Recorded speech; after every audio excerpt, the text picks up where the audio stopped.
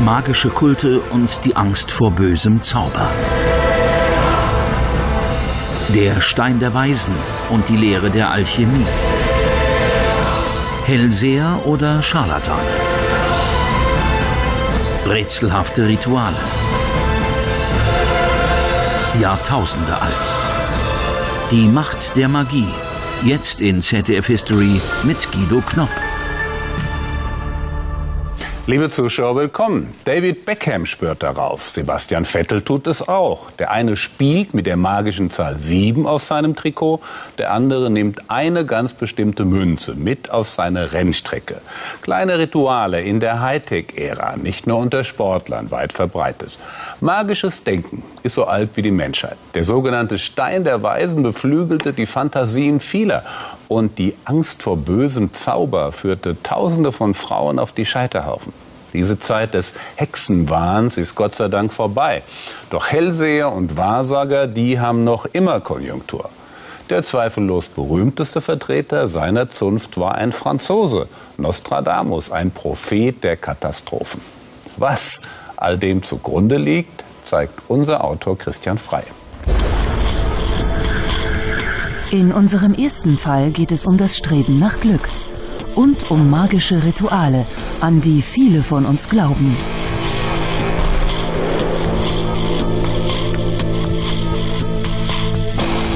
Torjäger David Beckham, Englands berühmtester Fußballer, hält eisern daran fest.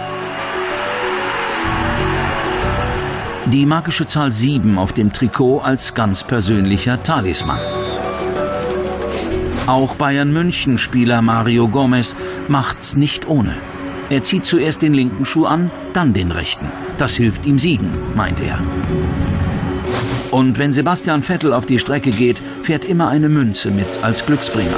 Auch wenn er, wie er sagt, nicht wirklich daran glaubt.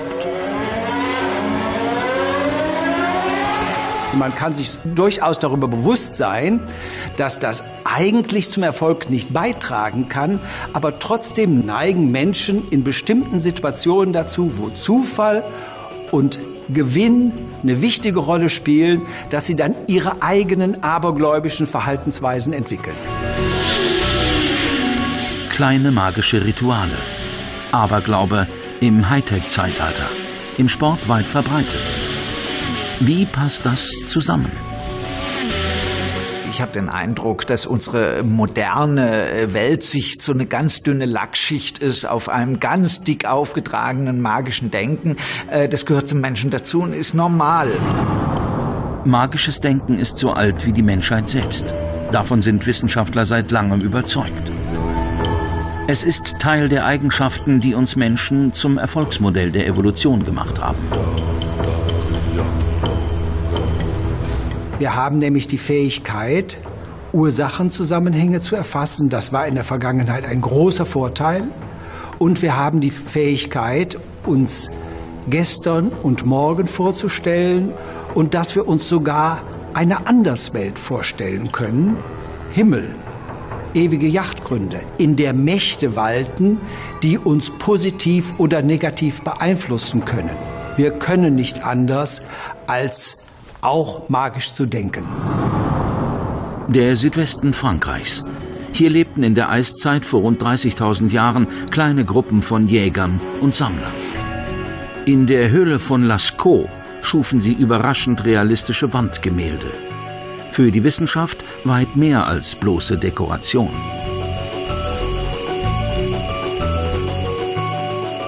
Das ist eines dieser magischen Prinzipien. Man bildet etwas ab, zum Beispiel ein Tier, äh, und hofft dann, dass dieses Tier, also diese Abbildung, sich sozusagen günstig auswirkt auf den Jagderfolg.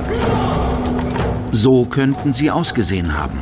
Magische Rituale für die Jagd. Mit den Zeichnungen stimmen sich die Krieger ein auf den Zweikampf Mensch gegen Tier. Da spielt natürlich Psychologie eine große Rolle. Also man könnte heute sagen, heute wird zum Beispiel ähm, eine Fußballmannschaft mental trainiert, indem sie sogar, es gibt Sportpsychologen, die sagen, sie müssen im Traum an das Fußballspiel denken und alle Bewegungen im Traum durchführen. Das kann man trainieren und dann sind sie einfach besser. Äh, also zur Zeitalter der Höhlenmaler haben die halt den Traum hingemalt. Das heißt, es ist eine mentale Vorbereitung auf eine spätere Situation und es hilft natürlich. Also zu behaupten, das sei alles nur Irrationalität, ist Unfug. In abgelegenen Teilen Sibiriens leben heute noch Jäger und Sammler, die uralten Traditionen folgen. Für sie hat jedes Tier eine Seele, einen Geist. Geister, mit denen Magier oder Magierinnen vor der Jagd in Kontakt treten. Schamanen, Wissende werden sie genannt. Sie sind für die Jäger von großer Bedeutung. Es gibt zwei Seinsbereiche. Das eine ist unsere natürliche Welt, in der wir uns zurechtfinden. Und dann gibt es darüber sozusagen oder dahinter oder daneben äh, noch so eine geistige Welt. Und nun, was ein Schamane macht, der vermittelt zwischen diesen beiden Welten. Der kann, der hat es gelernt, mit dieser geistigen Welt, mit den Dämonen zu sprechen und die, und das ist Sinn und Zweck, verfügbar zu machen für unsere Welt. Schamanen beschwören das Jagdglück und besänftigen die Tiergeister. Sie reisen in Welten, die den Normalsterblichen verschlossen sind. Vermutlich waren sie die ersten Magier in der Geschichte der Menschheit. Letztendlich geht man davon aus, dass das in der Steinzeit genauso ge gewesen ist, weil die Anthropologen feststellen, dass die unterschiedlichsten Jäger- und Sammlerkulturen diesbezüglich sich nicht unterscheiden. Sie haben alle Rituale, sie haben alle magisches Denken und von daher gesehen ist es eine vernünftige Hypothese anzunehmen, dass hier magische Rituale eine große Rolle gespielt haben. Und wir sind genau genommen immer noch die alten Mammutjäger, auch wenn wir heutzutage mit der U-Bahn äh, in die nächste Stadt fahren. Oder mit dem 700 PS Boliden auf die Rennstrecke. Unser magisches Erbe fährt immer mit.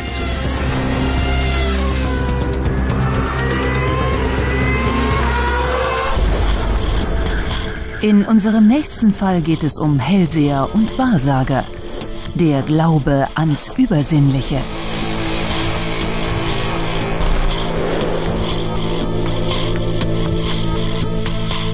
Der vielleicht erfolgreichste Wahrsager aller Zeiten, Krake Paul. Acht Vorhersagen, acht Treffer bei der Fußball-WM 2010. Waren da wohl magische Kräfte am Werk? Wir wollten den Kraken ja zu unseren Psi-Tests einladen, bei denen wir jedes Jahr Leute testen, die von sich glauben, dass sie übersinnliche Fähigkeiten haben. Er ist dann leider vorher gestorben, sonst wüssten wir es jetzt ganz genau. Aber auch so ist der Krake Paul ein gutes Beispiel dafür, dass man mit bloßem Raten oder mit dem Zufall immer besser liegt als alle Hellseher, Wahrsager und Astrologen zusammen. Ist das wirklich so? Die Schamanen in Sibirien lesen die Zukunft aus Schafsknochen. In Afrika nimmt man Kolanüsse, um in die Zukunft zu sehen. Und bei uns die Kristallkugel, das Pendel oder Tarotkarten. Wozu das alles? Es gibt bestimmte Entscheidungen, die sind so existenziell wichtig, und haben so viele Aspekte, dass man die einzelnen Aspekte nicht getrennt voneinander abwägen und aufsummieren kann. Und deswegen gucken die Leute ins Horoskop oder lassen sich Tarotkarten legen oder lassen sich Handlinien lesen. Das ist schon seit jeher äh, in allen Kulturen drin. Sie reden nicht gerne öffentlich darüber, doch inzwischen weiß es jeder. Auch Staatsmänner holen sich Rat bei Wahrsagern und Astrologen. Ronald Reagan und seine Frau Nancy. Genauso wie François Mitterrand. Frankreichs wohl berühmteste Astrologin erinnert sich. Als ich ankam, sagte er mir immer das Gleiche. Er sagte, äh, comment je vais moi comment va la France? Wie geht es mir und wie geht es Frankreich? Aber wie geht es mir, das kam immer vorher. Auch der berühmteste aller Hellseher war Franzose. Er lebte im 16. Jahrhundert im provenzalischen Saint-Rémy. Michel de Notre-Dame, bekannt als Nostradamus, der Seher der Apokalypse des Weltuntergangs. Eigentlich war er Pestarzt und Astronom. Um das Jahr 1555 herum verfasste er diese weltberühmten Zenturien des Nostradamus, also etwa 1000 vierzeilige Gedichte. Und da rätselt man nun eben bis heute dran herum. Hatte Nostradamus magische Einblicke in das Getriebe der Welt? Seine Gedichte sind in einer geheimnisvollen Symbolsprache verfasst. Eine Mischung aus Altfranzösisch und Latein. Die Kartons von Nostradamus sind fast beliebig interpretierbar. Das heißt, man kann eigentlich nie eine Vorhersage aus ihnen ableiten, aber man kann natürlich, wenn ein Ereignis eingetreten ist, sagen, das könnte ungefähr passen. Was die Nostradamus-Deuter aus seinen Versen herauslesen, ist eigentlich immer finster. Naturkatastrophen, Kriege, sogar Hitler. Hitler taucht in den Zenturien gar nicht auf, nur das Wort Hister findet man des Öfteren und das ist einfach der alte lateinische Name für die Donau und wurde von Nostradamus auch genau in dieser Bedeutung verwendet. Aber weil das eben so ähnlich klingt, ist das eines der Schlüsselwörter, auf das sich heute die Interpreten und Deuter ganz besonders gerne stürzen. In einem Fall aber legte sich Nostradamus fest. 1999 werde ein großer Schreckenskönig vom Himmel kommen und danach herrsche der Kriegsgott Mars. Die Vorhersage für einen Atomkrieg? Vernichtet ein Meteor die Welt? Die Anhänger des Sehers sind alarmiert. Auch der Modeschöpfer Paco Rabanne. Er ruft dazu auf, Paris zu evakuieren. Ich hätte auch meine Klappe halten können und einfach aufs Land fahren und den Dingen ihren Lauf lassen. 20 Millionen Tote und das war's. Aber ich habe mir gesagt, dazu habe ich nicht das Recht. Wie sagt Gott zum Propheten Ezekiel in der Bibel, wenn der Seher die Gerechten nicht warnt, kommt deren Blut über ihn. Ich wollte ruhig schlafen können. Und tatsächlich, pünktlich zum vorhergesagten Termin am 12. August 1999 geschieht etwas Außergewöhnliches. Totale Sonnenfinsternis. Lag Nostradamus also doch nicht ganz falsch? Sind tatsächlich magische Kräfte im Spiel? Diese Zyklen, wann wieder eine Sonnen- oder eine Mondfinsternis stattfinden würde, die kannte man auch vor 500 Jahren schon und auch in der Literatur, die Nostradamus zu seiner Gegenwart herausgegeben hat, waren immer wieder astronomische äh, Ereignisse beschrieben und vorausgesagt. Der Anbruch des neuen Jahrtausends ist glücklicherweise nicht so düster wie vorhergesagt. Es gab keinen Atomkrieg und auch keinen Meteoriteneinschlag.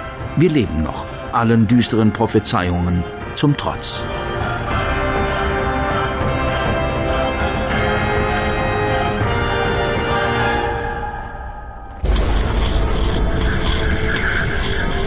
In unserem nächsten Fall geht es um Hexerei und Hexenwahn.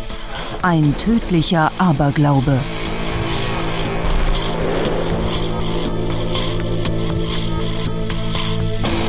Regenzeit in Afrika, Zeit der Hexenjagd. Jahr für Jahr fallen hier unschuldige Frauen dem Hexenwahn zum Opfer. Das düstere Kapitel der Menschheitsgeschichte auf dem schwarzen Kontinent ist es noch immer aktuell.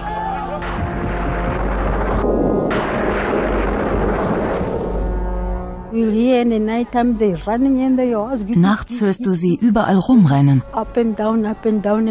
Und wenn du rausgehst, bringen sie dich um.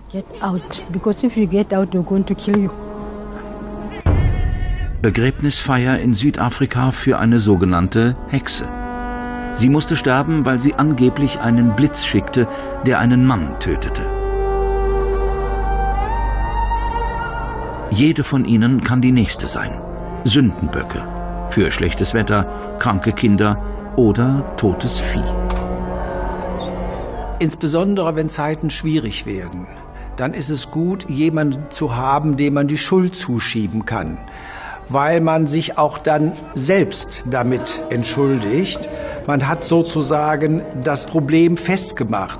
Wenn ich die Hexe töte, habe ich das Übel beseitigt und kann wieder beruhigt schlafen gehen. Ein ganzes Dorf voller Frauen, die ihrer Hinrichtung im letzten Moment entgangen sind.